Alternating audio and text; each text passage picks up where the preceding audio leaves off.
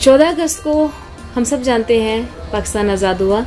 آپ سب کو ہماری طرف سے آزادی کی بہت بہت مبارک ہو۔ اللہ تعالیٰ ہمارے اس ملک کو ہمیشہ اپنے حفظ و امان میں رکھے۔ ہمارے ملک کی ترقی صرف اسی صورت میں ممکن ہے کہ ہم تعلیم کو فروغ دیں۔ تعلیم ہی ہمارا اصل اثاثہ ہے۔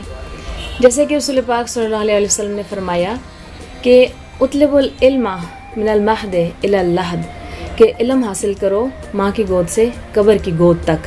یعنی علم وہ بنیاد ہے کہ جس کی بیس پر قومیں بنتی ہیں۔ اور قومیں بنانے میں بہت سارے لوگ اپنا اپنا حصہ ڈالتے ہیں۔ اور ایک بڑی اہم بات کہ ریڈ فاؤنڈیشن اس میں اپنا بہت بڑا حصہ ڈال رہی ہے۔ اور جتنا ہو سکتا ہے یہ اپنی محنت، اپنی کوششیں بچوں کے اخلاقیات کو، بچوں کے معیار کو بہتر بنانے میں لگا رہے ہیں۔ تو یہاں آج کے دن ہمیں یہ بھی عہد کرنا ہوگا کہ ہم اپنی پوری کوشش کریں کہ ہم باقی تعلیمی اداروں کے ساتھ بھی کھڑے ہوں۔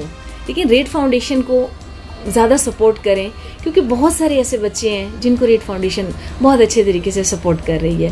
میں نے خود دیکھا ہے، بہت دور دراز علاقوں میں، بہت دور دراز۔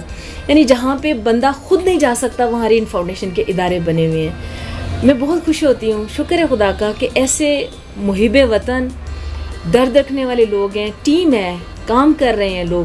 ینگ جنریشن ہے اور چھوٹے بچوں کے لیے ایون یونیورسٹی لیول پہ بہت بہت لیول پہ کام ہو رہا ہے۔